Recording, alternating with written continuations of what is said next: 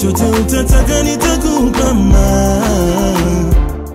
guys, welcome back to our YouTube channel. It's girl Fanny Lungu back with another reaction video. If you're new to this channel, make sure to give this video a thumbs up, share it with your friends, and of course, do not forget to subscribe. Big shout out to everyone that has subscribed to our channel so far. Thank you for subscribing, liking, commenting, sharing, and everything that you guys do. And thank you for always watching. You guys are the best. Thank you for 18,000 subscribers. And yeah, let's get to 19,000 subscribers a big shout out to the people that constantly suggest stuff for us to do. You're the reason why we carry on and thank you very much. If there's something that you guys want us to react to, drop the link in the comment section below and we'll be more than glad to do it. You can find us on Facebook as Fanny and Jessy. You can find us on Instagram as Fanny and Jessy and feel free to follow us, befriend us, talk to us and we'll be more than glad to respond. So without wasting time, let's get into the video. Before we get into the video, today I'm going to be reacting to 10 haram foods in Islam that Muslims think are halal. So without wasting time, let's get into the video. We've created videos about things that are haram according to Islam. But in this video though, we are gonna look specifically at foods and I'll be highlighting 10 foods that you probably didn't know were haram in Islam. How's it going guys? Welcome back to FTD Facts. My name is Leroy Kenton if you didn't know already. And for this episode, we're gonna see that some of these foods, Muslims have probably been eating them, but they just didn't know that these foods were haram. So make sure you watch this video all the way to the end so you don't miss any of these foods. Okay, so let's just jump into it. Starting at number 10, we have the food Jello. Now this is a very common dessert. Who doesn't like Jello, right? It tastes really, really, really nice, especially when it's chilled. Kids love it, especially. But here's the thing though. It's known that Jello contains gelatin, which is a protein derived from the collagen that is found in pig bones, skin, as well as connective tissues. So this tasty little dessert isn't so halal after all. This may come as a surprise. At number nine, red candy. So red candy or strawberry flavored candy, anything red that tastes sweet, pretty much in the candy category. It's often dyed with a food coloring called carmine, and carmine is made from dead crushed up beetles. It's produced when these insects are boiled with sodium carbonate or ammonia, which then produces the bright red dye. Therefore, it's recommended that you see the ingredients list before buying.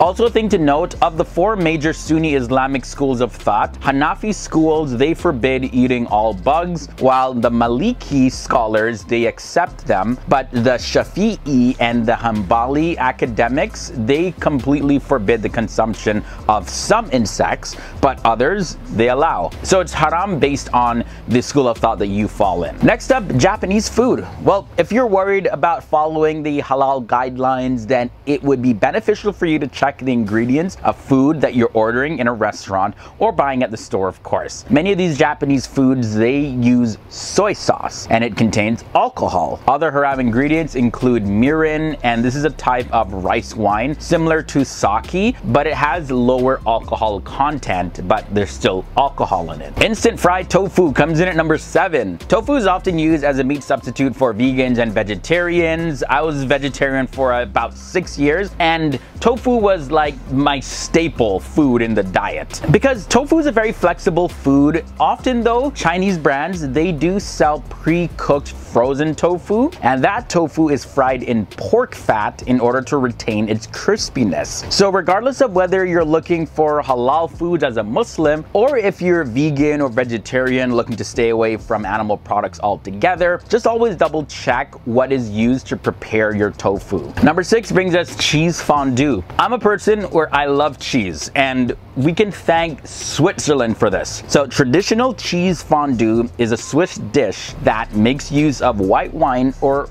alcohol. So with that said, it's a haram food item. All right, before we get into the last five haram foods, just a reminder that we did do a video series about haram things in Islam as well as halal things. I'll link to both of those series below in the video description section so you can check them out because like I mentioned in this video, we're just looking at food, but it extends to a whole other world of things that can fall under haram. And in some cases, the term halal, although yes, halal is used for specifically food, in slang, halal is used for other permissible things in Islam. So definitely check those ones out. Those links are below in the video description section. Moving on to number five, we have spirit vinegar. Alcohol and products containing alcohol are just haram in Islam. And even if the alcohol has evaporated in the end, so therefore spirit vinegar is haram. However, if alcohol is not used in making of the vinegar, then it is halal. So it's advised that you check the description of the ingredients before buying it just to make sure. Marshmallows comes in at number four. Marshmallows, they are a very popular snack and you can eat marshmallows just as they are or you can throw them in your hot chocolate, you can roast them at a campfire and more. But again, just like jello, marshmallows contain gelatin, so they are completely haram. However, vegan marshmallows, they do exist, so you are in luck. You can check them out. Those are fully halal and they're a great substitute for regular marshmallows. One of my favorite desserts comes at number three, cheesecake. Most cheesecakes contain gelatin as a firming agent to set the cheese, but you can find cheesecakes that do not contain any gelatin though. But if you are unsure, it is recommended that you simply make it yourself or you have somebody that's a lot more skilled than you in the kitchen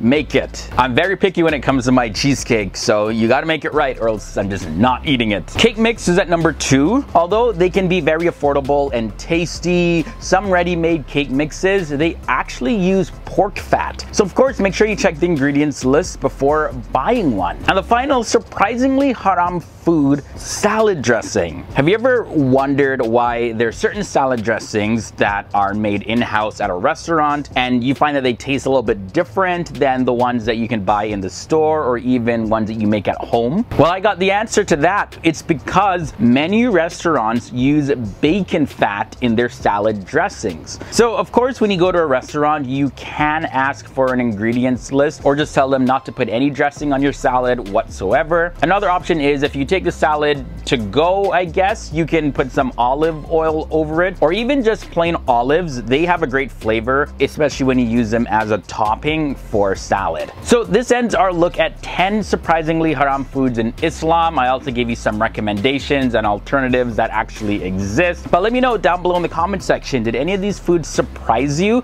Regardless if you're Muslim or not, I want to know what you thought down below. I also have those recommended videos that you can check out in the video description section section. And until next time, guys, just stay awesome, stay educated. I'll see you guys real soon because we post videos daily here on FTD Facts. Later.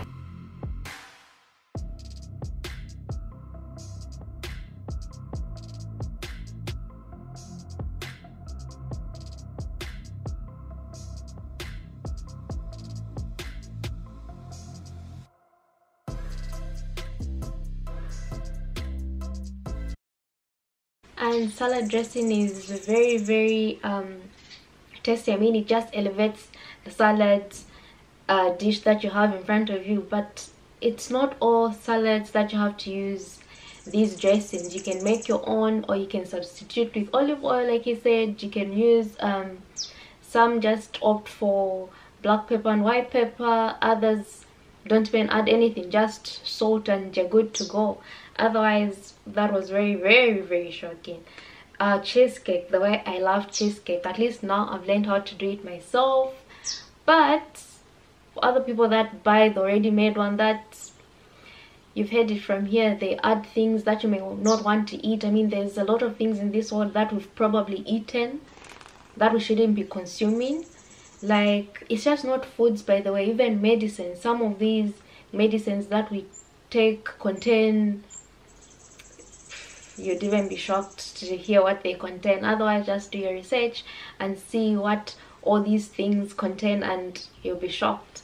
When it comes to cake mix i actually despise cake mix. I don't even understand why people like cake mix. I don't i don't know if it's cheap not sure. I used it once didn't like the taste. It's just it's overrated. And i love love love love marshmallows. I mean why do they have to add something else but otherwise for people that don't eat there's always an option nowadays.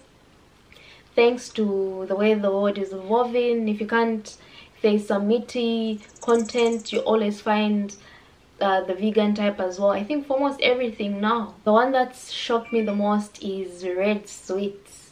I'm very very shocked that that's how they get the color red. It's very very shocking. Otherwise let me know what you guys think. What are other foods that you think you shouldn't take or people shouldn't take or islamic people shouldn't take make sure to give this video a thumbs up share it with your friends and of course do not forget to subscribe and i'll see you in my next reaction video